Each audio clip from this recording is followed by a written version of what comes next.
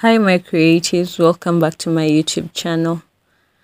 If you're new here, please don't forget to subscribe, like, share our videos. Alright, so today we're going to look at this t shirt. Uh, we're going to learn how to patch uh, on t shirts with Ankara fabric. Let's get started.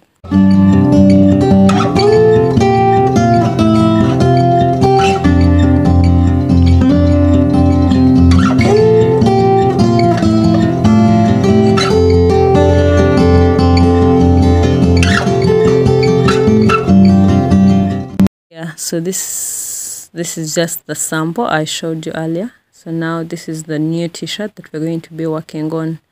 It's for a child. That's why it looks small. So you get your ankara fabric and find where you want to place it. Me i decided to place it there because that's the piece i had and that's where it was fitting. So just get your part any it could be anything any kind of fabric that you want to deal with. So cut it out the way you want and according to the size that you want. Then go ahead and uh, trace it out on uh, stiff. We call it stiff. Others call it uh, hard paper, something like that. Um, so just trace it out. And then, yeah, just align all the sides. Make sure it's equal just like I'm doing. Then after that, um, I'm going to reduce each side by a by an inch. So this is five inches as seen after measuring. Then I, I reduce it by an inch. Like I reduce the bottom side by an inch and I reduce the, let's say the vertical and the horizontal side by an inch remember it's going you're going to have to iron it on the inside so and then fold the fabric around it. Just wrap it around. You'll get to see why I'm doing this. So just reduce your measurements. If it's 16 mark the stiff fabric at 15 if the other side on the other side it's 5 inches on the width make uh sorry if it's 6 inches make it 5 inches eventually you're going to see why I'm doing that. And now draw a line joining those points.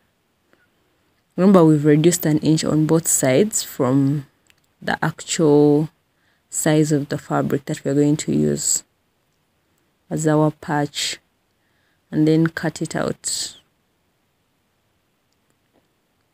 Just as seen you can use uh, this stiff fabric comes in different uh, qualities. There is the soft there is the medium and there is the hard. For this i use the hard but you can use any any of them can work. As long as it can stick on uh, it can stick on on on the fabric. Some call it is it i think gum paste? Something like that. Because it has gum. So the side here you can't see it but the, on the side that has the gum some tiny pieces that are like gum gum like is where you face uh, is the is the side you place on the fabric.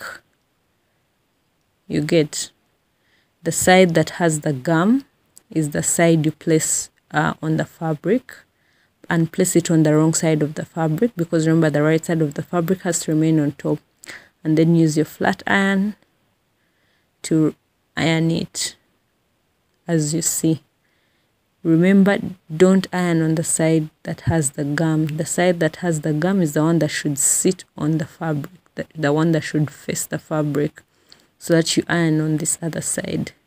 Then go around folding. Remember why we removed the the half inch? That's why like just keep wrapping it around and folding and then also iron iron the piece together and then also iron it on the right side just to make it stick very well. If you don't have access to this um, stiff fabric it's okay. You can do it without fabric without that stiff fabric. Though it just looks better with stiff fabric. This is just an addition. So here I'm uh, we're going to get our t-shirt and I'm going to place it like I said I'm going to place it where it's going to sit. Remember when you're cutting out your when you're cutting out the piece that you want to to use don't forget to add a seam allowance to it or folding allowance. Not really seam allowance but folding allowance so yeah.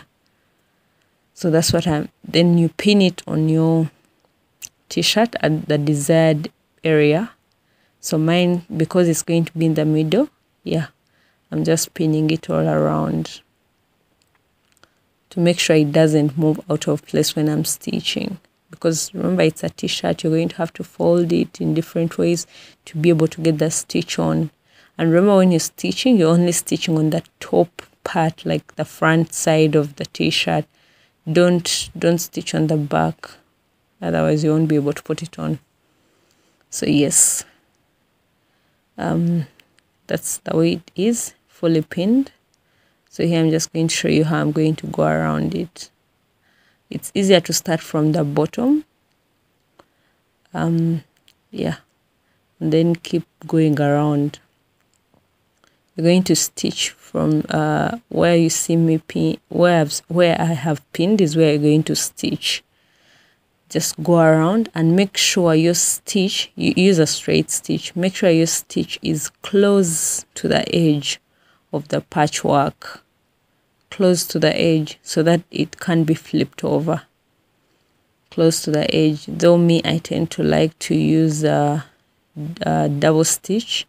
I first go in close to the edge and then I take another one just slightly uh, like a quarter a quarter away from that first stitch.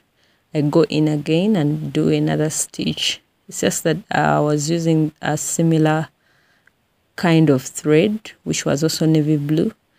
So you can't really see it. You can't really see it clearly on the fabric.